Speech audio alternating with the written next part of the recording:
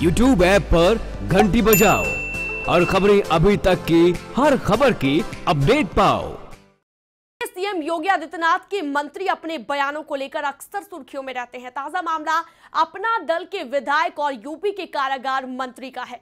जी हाँ, इनका ये मामला है, जिनसे जुड़ा अब एक बार फिर से बयान सामने आया है। जैकी के पास लोक सेवा प्रबंधन विभाग की भी ज़िम्मेदारी है। मंत्री जयकुमार का ये मामला है, जहाँ पर अधिकारियों पर भड़के हैं मंत्री जी।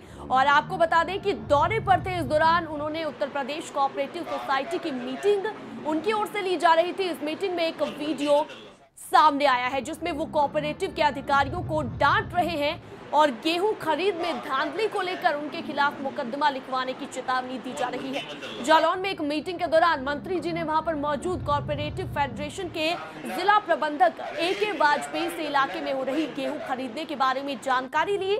इस दौरान उन्होंने गेहूँ खरीद के कांटे में होने वाली पूछताछ की, साथ ही इस पर वाजपेयी ने जवाब दिया कि कांटा मंडी में लगा हुआ है और खरीद की जा रही है।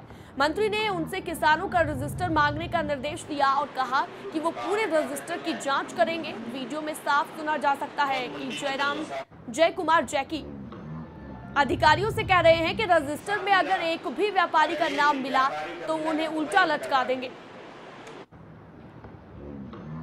तो अधिकारियों पर भड़कते हुए नज़र आए मंत्री जी। अधिकारियों को मंत्री की तरफ़ से फटकार लगाई गई। उल्टा लटकाने की धमकी भी उनकी ओर से दी गई कि अगर गड़बड़ी मिली तो उल्टा लटका देंगे। इस तरीके की बात मंत्री जी की ओर से कही गई।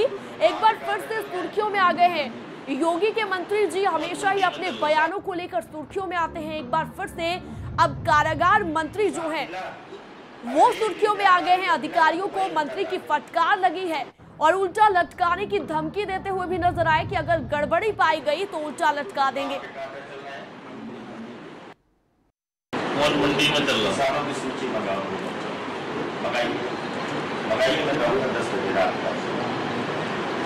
किसानों की सूची। किन किसानों से तुम खरीद लो अगर एक भी किसान मिला अगर एक भी व्यापारी का मिला ना तो वही उल्टा डाले अगर एक भी किसान ने बयान दिया तो तुम्हारे खिलाफ एक मुकदमा लिखाऊँगा तुम्हारे एक खिलाफ।